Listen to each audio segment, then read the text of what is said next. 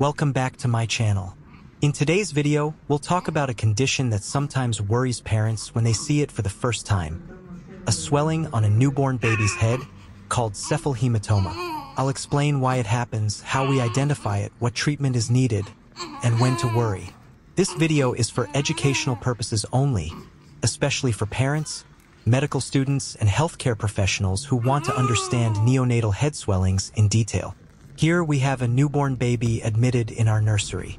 The baby was delivered normally, but the parents noticed a soft swelling on one side of the baby's head right after birth. Naturally, they became anxious, thinking, is it dangerous?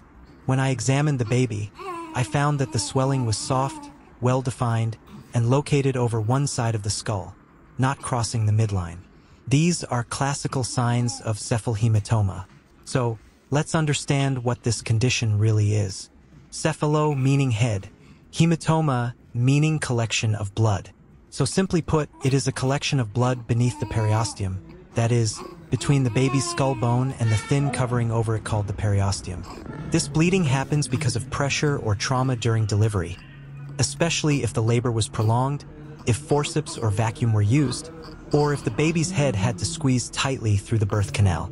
During delivery, especially in first-time mothers or difficult labors, the baby's head undergoes a lot of pressure. The skull bones overlap slightly to help the baby pass through the birth canal, a process called molding. In some cases, small blood vessels under the scalp can rupture, leading to a localized collection of blood under the periosteum and that's cephalhematoma. On examination, cephalhematoma feels firm at first but may become fluctuant over a few days. It's usually over the parietal bone, and as I mentioned, here's the good news. Cephalhematoma usually requires no specific treatment. It resolves spontaneously within two to eight weeks as the body slowly reabsorbs the collected blood. Parents often ask, Doctor, should we drain it? The answer is no, never try to puncture or drain it. That can lead to infection or abscess formation.